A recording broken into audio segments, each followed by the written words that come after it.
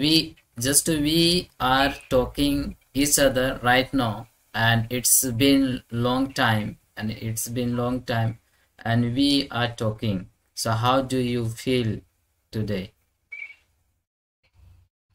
Well so far definitely i have been getting another fluency to express my ideas in english. I think that is it's is something that wow i appreciate it I appreciated the opportunity of, the, of my life to learn all, all just right there you know English with a native speaker, trying to get working with them, and, but not is the same teacher, not is the same.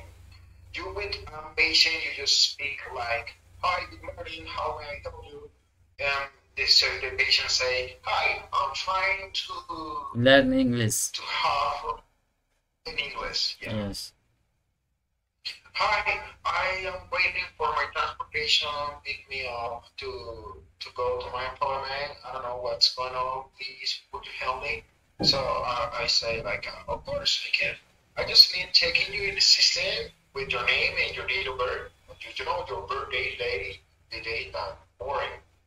And so, well, this patient give me her name, give me her date of birth. I get in, I'm system. I just get in our system, and then I can check out this disappointed about what time, what day will be, with who will be, what is the specialization of this doctor, and if this patient have transportation to go for this appointment.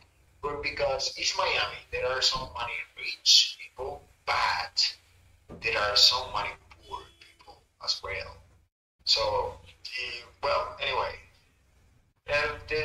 thing is that I learned to, to communicate with native speaker. They are they speak so like uh, rich people. Hi, good morning. I have been waiting for my transportation. What's going on? Oh. So okay, who are talking? Who are talking just like you are speaking? Yeah, it's like. okay.